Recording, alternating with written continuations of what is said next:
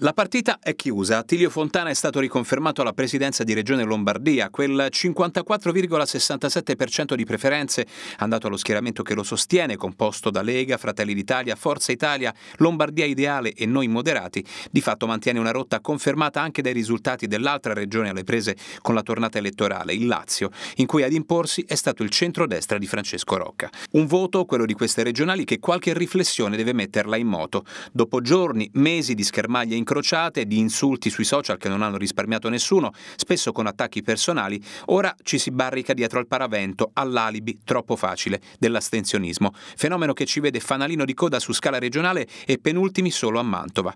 Beh, forse dovremmo tutti reimpararla la politica, una cosa che si fa con l'arma del voto e non a forza di posta avvelenati, scritti dietro ad una tastiera magari nascosti dall'anonimato. Seconda a Fontana c'è l'alleanza del Dem Pier Francesco Maiorino col 33,93% delle preferenze. A Letizia Moratti, impegnata in corsa assieme ad Azione Italia Viva, tocca accontentarsi di un terzo posto, sfiorando il 10% dei voti. A Maraghi d'Orzi, di Unione Popolare, un 1,53%. Nella provincia di Sondrio la Lega si conferma il partito più votato con 15.437 preferenze. Massimo Sertori, che correva in coppia con Silvana Snider, vince così la corsa a consigliere di Regione Lombardia.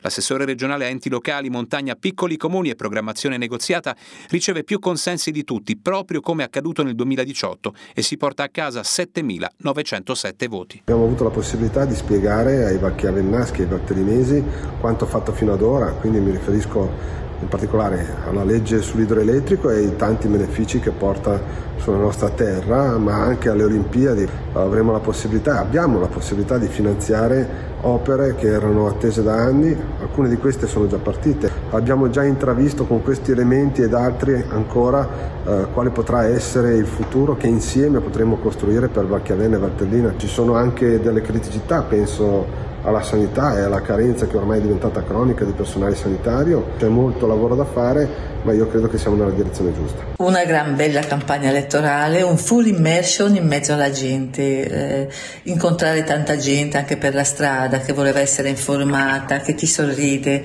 eh, diciamo tornare a fare politica come si faceva ai tempi, come la Lega è abituata a fare. Secondo partito ad essere più votato nella nostra provincia è quello di Fratelli d'Italia, andato forte in alta valle, anche a causa degli endorsement manifesti a suon di posta dei sostenitori del movimento Rinascita Morelli Autonomo e per il quale a correre assieme erano Carla Cioccarelli, seconda Assertori nelle preferenze accumulate e Corrado Pini, 11.170 i voti loro riservati. Il risultato nostro è certamente positivo, di questo siamo contenti è innegabile che la Lega ha avuto un risultato di molto migliore e quindi evidentemente facciamo i complimenti ai nostri alleati di coalizione che hanno fatto una campagna elettorale che evidentemente ha portato i suoi frutti. Nella classifica dei più eletti il terzo gradino del podio va al PD di Maiorino che nella nostra provincia, dove i candidati erano Michele Iannotti e Alba Rapella, guadagna 8.831 consensi. Una considerazione a margine di queste regionali lasciatecela fare. Il vero vincitore dell'ultima tornata elettorale è chi ha preso la matita in mano ed ha esercitato il proprio diritto a un voto che, come cita la Costituzione italiana, è personale ed uguale, libero e segreto, e l'esercizio del quale è un dovere civico. Anche se è più facile scrivere proclama avvelenati su Facebook.